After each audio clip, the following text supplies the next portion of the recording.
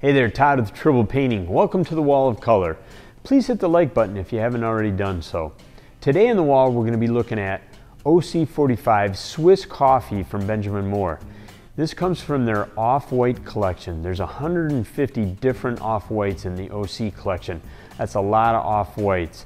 Let's go ahead and put our first coat of Swiss coffee up, and we'll come back and talk about the color.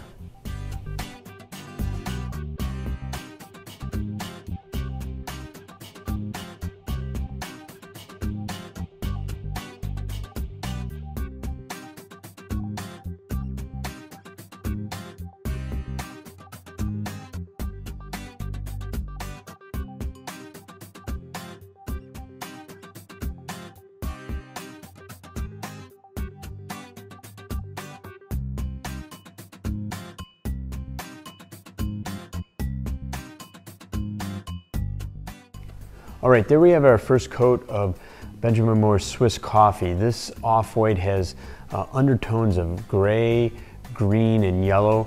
It's warm and creamy. And you know, off-whites are not the best covering colors, uh, but this covered pretty well. I think uh, two coats will be all, all we'll need. We'll go ahead and put that second coat on and you get the full essence of this Swiss coffee color.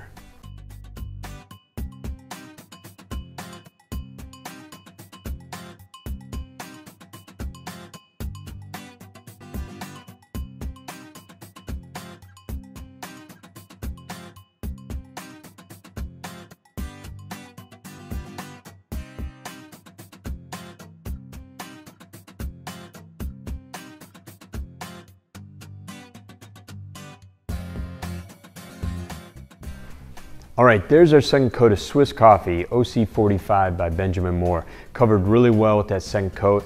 I installed the white baseboard to give you an idea of some contrast between the Swiss Coffee and a white colored trim. Uh, Swiss Coffee has an LRV of 83.93, so it's going to reflect a lot of light back into a room. But remember, when choosing a color, always bring home some paint to put on the walls or at least some paint swatches to look at and look at those at different times of the day in different lighting. If you're rolling some paint on the wall, make sure to put it on more than one wall so you can see how it plays with different light. We hope you liked our video. Let us know what you think about Swiss Coffee.